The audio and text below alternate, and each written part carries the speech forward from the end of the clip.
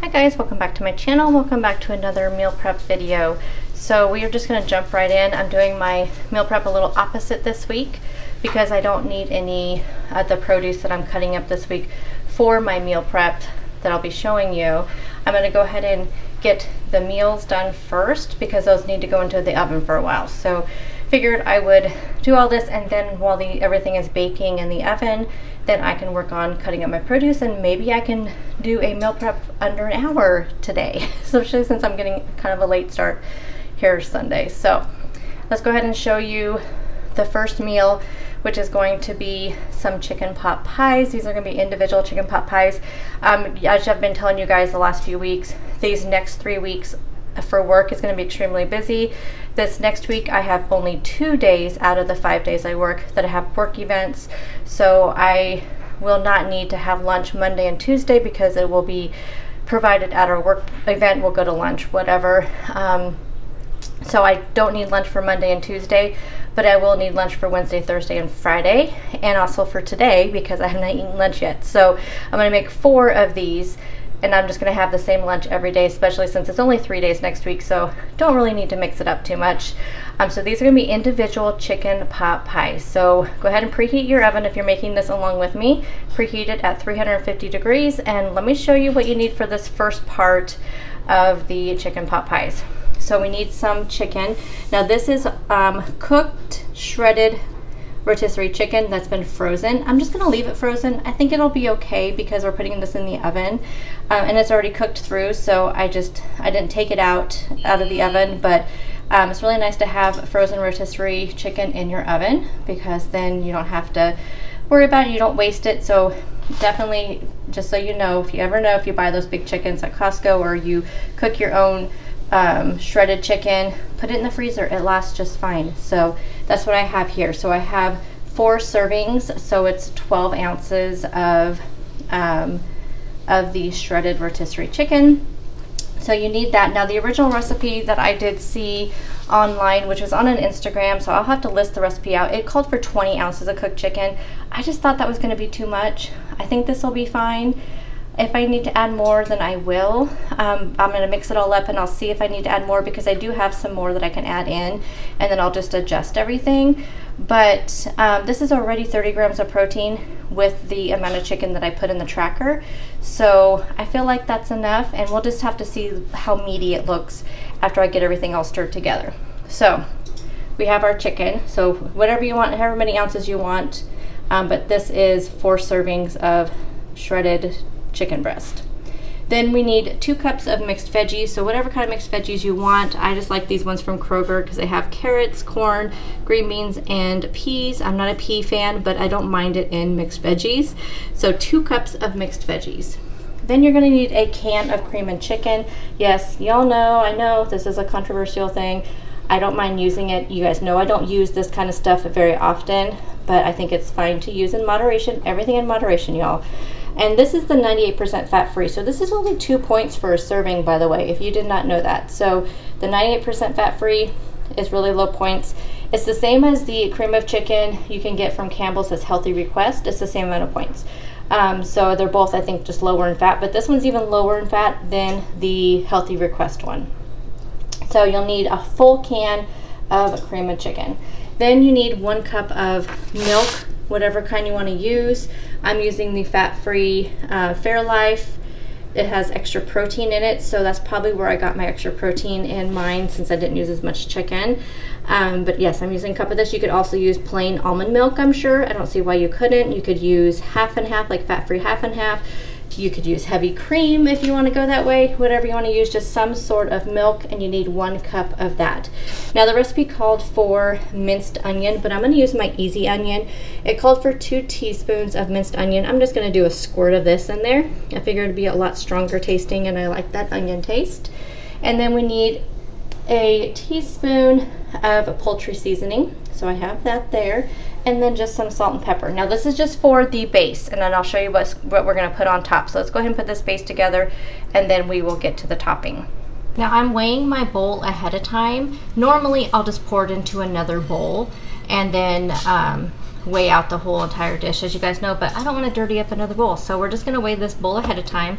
And then when everything goes in there, then we'll just, we'll know um, how much the bowl is. So the bowl is 987 grams. So then once everything goes in and we have a total, I'm just gonna minus out the bowl total and then we'll just divide the other by four since this is gonna make four servings.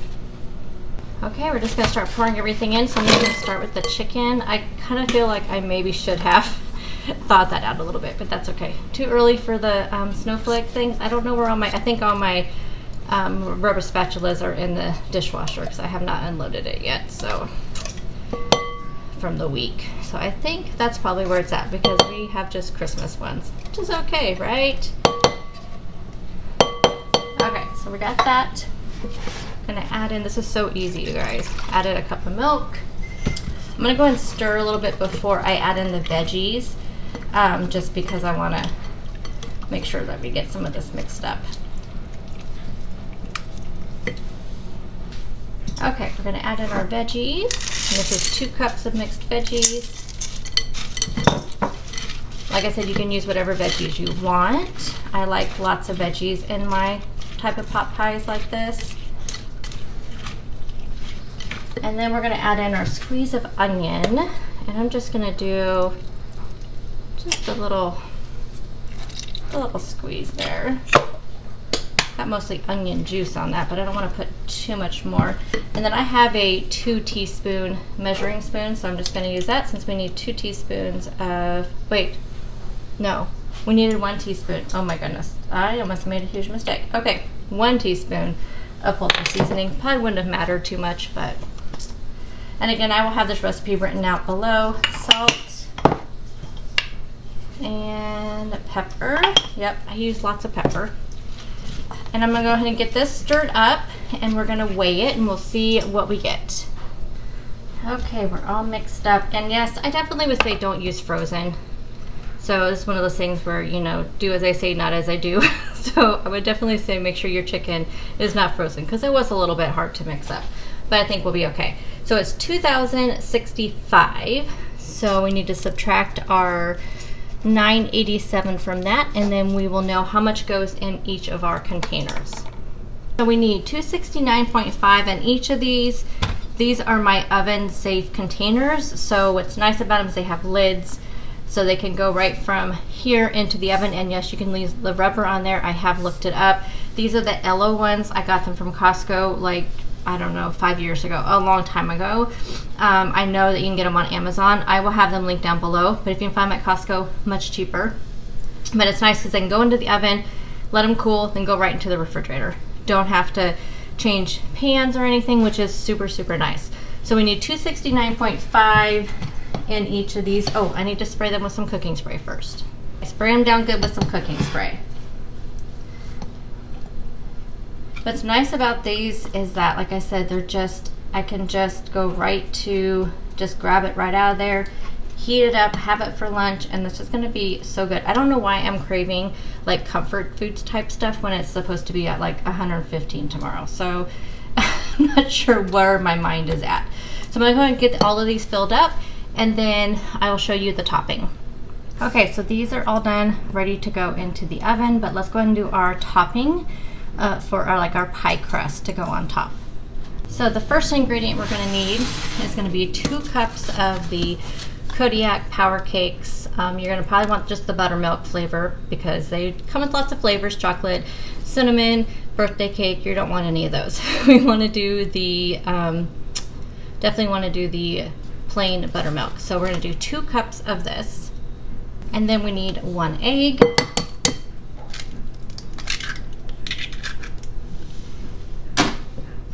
One cup of water. And then you need two teaspoons of parsley, which we're just gonna kind of eyeball it.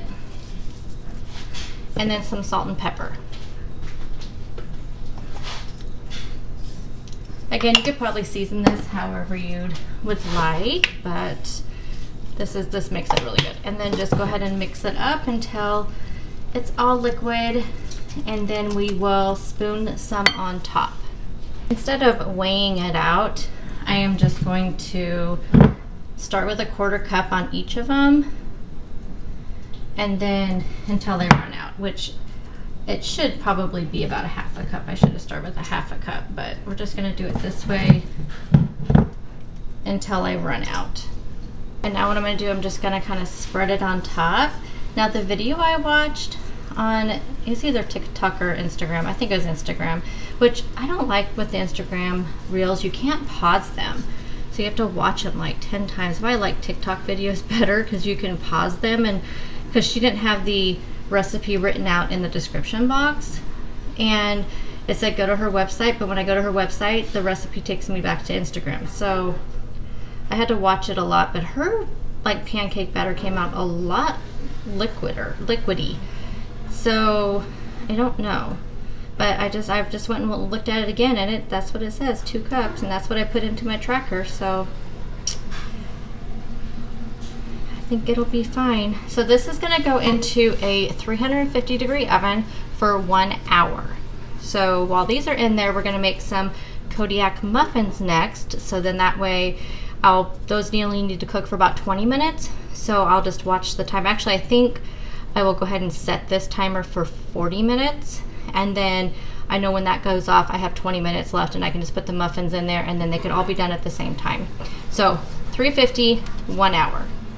I knew this week I was gonna need something grab and go for breakfast because I, like I said, Monday and Tuesday, work events. I'm not super hungry first thing in the morning and we're gonna be in the car for the first part of the morning, traveling to where we're going. And so I figured something I could eat in the car. I think I may like have a yogurt first thing in the morning and then eat a couple of these muffins I'm gonna make. And then that way I'm still getting protein, getting some healthy whole grains and carbs and not very many calories and it'll be grab and go and I can just throw them in my bag and eat them whenever. So that's why I'm making the muffins. You guys know I love my yogurt bowls in the morning, but just don't think that's gonna happen. Don't think I will have time. So for these Kodiak muffins, the, the original recipe that I saw used chocolate chips. I'm using berries because I'm not like a fan of really super sweet in the morning. So these are perfect for me. So we need two cups of Kodiak cakes. You see I have two boxes here because I am cleaning out my pantry, y'all. Speaking of that, stay tuned. After we get through this really busy work week, I'm thinking the week of the 28th of August, I'm going to start a pantry clean out challenge for myself. And I will definitely be filming that over the time period it takes for me to go through everything. So stay tuned for that and that way we can get through our pantry. But Kodiak cakes is one thing I have a ton of in my pantry right now. So we need two cups of the Kodiak cakes. We need, in here, one teaspoon of baking powder and one teaspoon of cinnamon. Need one third cup of plain non-fat Greek yogurt, one cup of milk. Again, I'm using that Fairlife uh, protein fat-free milk. One egg, teaspoon of vanilla extract, and then we will also need some fruit. So this is a cherry berry blend from Walmart. And then also, I don't think I said, two tablespoons of sugar-free syrup. So let's go ahead and set up the camera and we'll throw everything together. Okay, so we have our two cups of Kodiak cake in here. And then we're gonna go ahead and do the, the baking soda and the cinnamon, which we already have measured out. And then we'll add in the yogurt.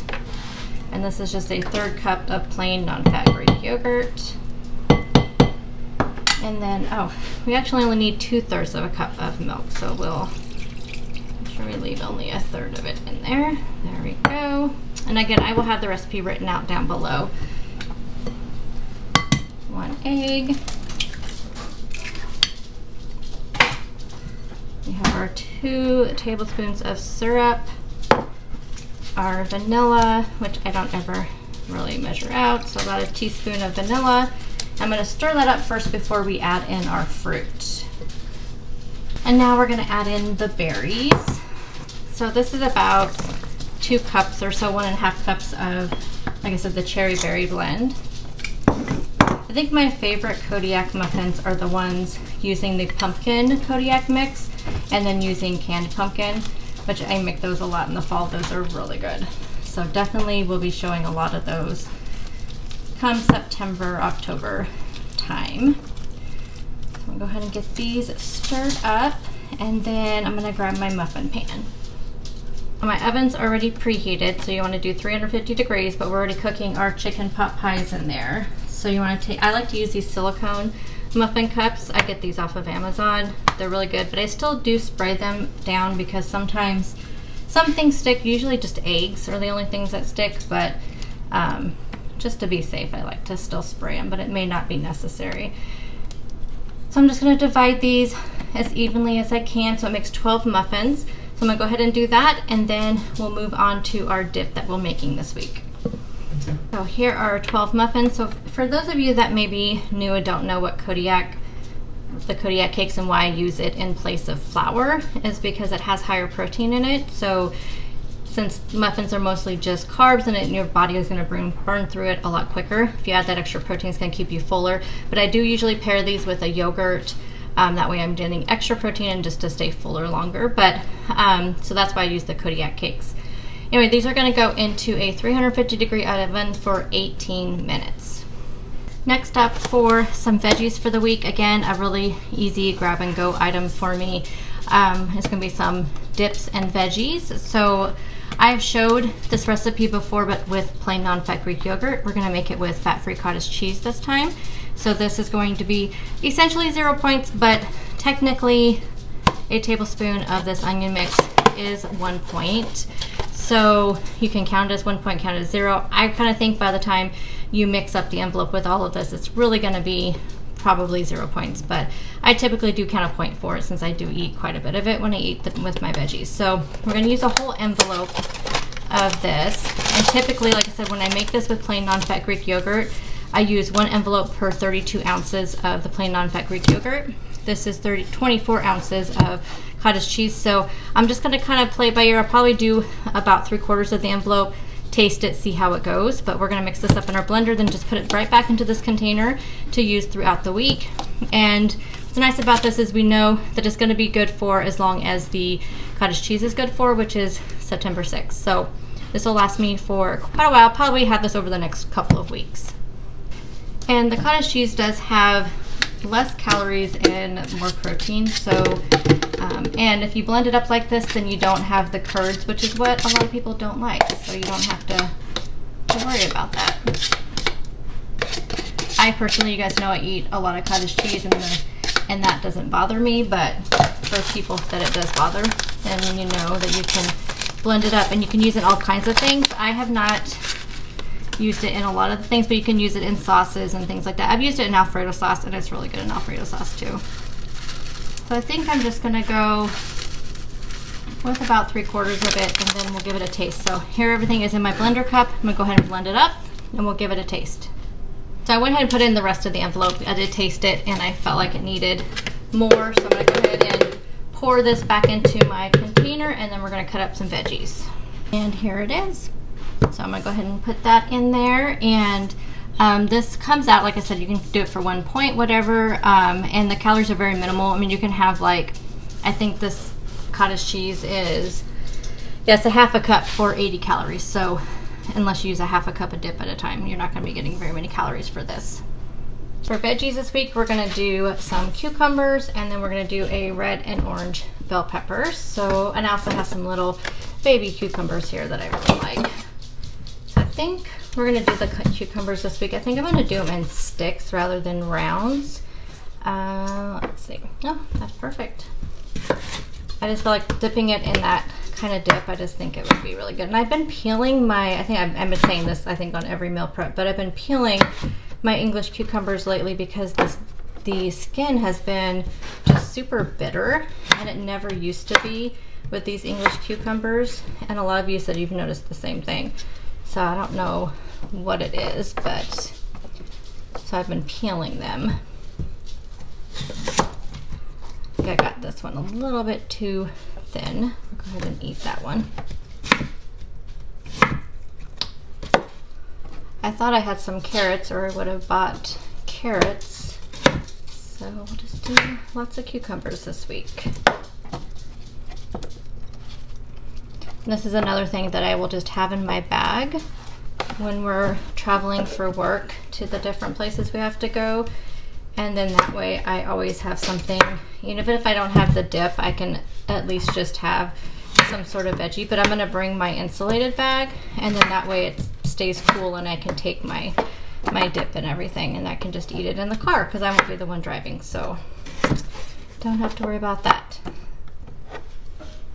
And the bell peppers, I'm just gonna cut into strips. Yeah, this is definitely going to be an under one hour meal prep today, which is nice because I still, I think, have five minutes before the timer goes off to put my muffins in to be done at the same time as the pot pies. So worked out really good. And I've been kind of cleaning up as I go along, so I just only have a few dishes to do. So it is possible to do meal prep under an hour and you're still getting a lunch, breakfast, and snacks. So I know meal prep can be very intimidating to people, but it definitely can be done. You can just start small. Like I always say, to start small, start with one type of meal or just do your snacks and your veggies and then you can just move on to more as you get used to doing it or just whatever your time allows for your schedule. I think with the little cucumbers, actually sometimes I just like to keep them whole. And I think I may just do that. I think I'm just going to, um, I already rinsed them off and everything, but I think I'm just gonna go and put them in a Ziploc bag and then I can just take the whole bag with me to have. And here are our veggies for the week for our dip. And I have 17 minutes left before my muffins are done because I just put them in and I actually already did all the dishes and everything. So I actually have time to unload the dishwasher and do some stuff I was going to do after meal prep. And I can do it while I'm still on the clock. So we'll go ahead and go do that. And as soon as the pot pies and the muffins come out, I will show those to you. Okay, so here is how our chicken pot pies came out. And I have to tell you guys, these smell absolutely amazing.